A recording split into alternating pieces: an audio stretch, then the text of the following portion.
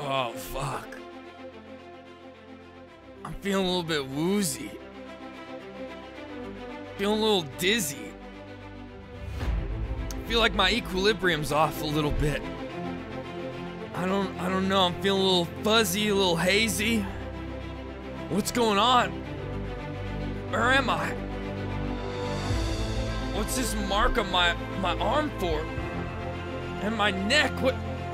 And my oh my god! I, what the? Why is there a bite mark down there? What the fuck? What the?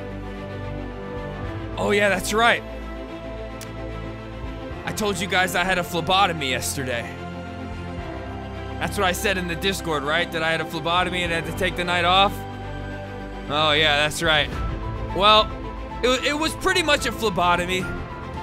It wasn't a phlebotomy like the one I go to at the doctor's office, though. It was just one that was done in my bedroom.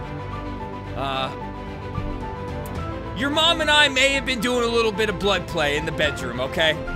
She may, may, may have had me tied down, BDSM style, and she got out the fangs, and might have been sucking a little bit of blood. And this time she might have sucked out a little bit too much, okay? She, she might have went a little too crazy. She drained me. Not only mentally, but physically, literally. It was, I, I had no more left to give. And, and by the end of it, I passed out. I fainted. She sucked so much, but she took more than a pint out. A pint is what they normally take out at the doctor's office when I do a phlebotomy. She sucked like four. Four pints out of me. Straight out of my neck, man. And another place, uh, but I can't really talk about that. Please, if you want me to stream every day, you need to get a hold of your guys' moms, okay? She can't be sucking that much blood out of me. You need to talk to her, say maybe a pint at a time, that's it. A pint max. The water! The water. We're gonna rise above the trees, above the clouds. Ver. We're gonna rise to the very tippy tops of the forest. What? What? Together!